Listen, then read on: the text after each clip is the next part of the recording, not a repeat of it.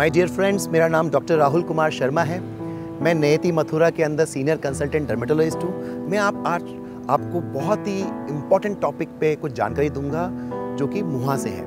मुहासे जिन्हें पिंपल्स भी कहा जाता है, हमारी भाषा के अंदर उनको एक्नी वलगारिस कहा जाता है, बहुत कॉमन है। ऑलमोस्ट पिचासी प्रतिशत बच्चों में या फिर एडोलिसेंट एज में किशोर अवस्था के अंदर पाए जाते हैं। इवन ये एडल्ट के अंदर भी पाए जाते हैं। ये क्यों होता है? ये हमारी जो तेल बनाने वाली ग्रंथियाँ होती हैं, उनके ब्लॉक होने की वजह से होता है।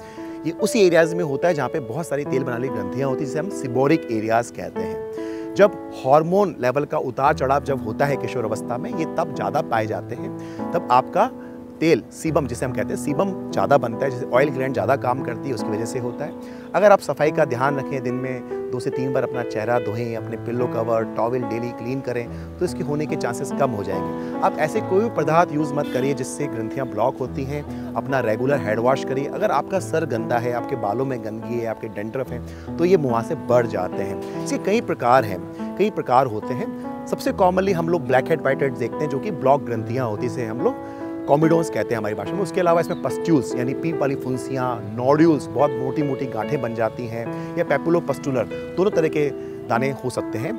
ये क्यों होता है? उसके अलावा हार्मोनल इशू मैंने आपको बताया दिया। हार्मोन जो कि नॉर्मल फिजियोलॉजिकल चेंज जो होता है, उसमें तो होता ही है। उसके अलावा अगर ये एडल्ट फ़ेज़ में हो रहा है तो उसको नज़रअंदाज मत करिए, क्योंकि मुँह से भी आपकी अंदरूनी बीमारी का संकेत हो सकते हैं। जब आपके जो साइकिल्स हैं, जो मेनिस्ट्रल साइकिल है, वो अगर इरेगुलर हो रही है, आपके बाल भी झड़ रहे हैं और साथ में मुहासे हो रहे हैं तो उसको नज़रअंदाज मत करिए, अपना हार्मोनल इवेल्यूशन कराइए।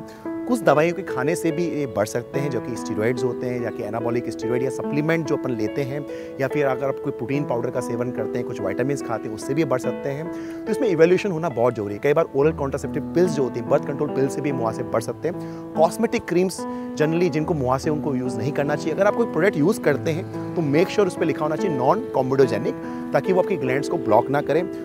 जो लोग मुहासों से पीड़ित हैं, जिनमें ये मुहासे होते हैं, उन लोगों को जो मार्केट में मिलने वाली जो क्रीम्स हैं, वो सब यूज़ नहीं करनी, क्योंकि वो आपकी ग्लैंड्स को ब्लॉक कर देती हैं। आपको ऐसे क्लींजर यूज़ करने हैं जो कि आपकी स्किन को इरीटेट ना करें। अपने आप को क्लीन रखना है और कभी भी सेल्फ मेडिकेशन नहीं करिए। अगर आप मेडिकल में मिलने वाली कोई ऐसी क्रीम लगा लेंगे जिसमें स्टीरोड है ब्लीच है, वो आपको ज़िंदगी भर के लिए नुकसान कर हो। सकता है वो दो या तीन दिन में जादू दिखाए, पर जादू दिखाने वाली सारी क्रीम बाद में नुकसान करती है। आप प्रॉपर डर्मेटोलॉजिस्ट को मिलकर ही उसका इलाज कराइए और अपना ध्यान रखें।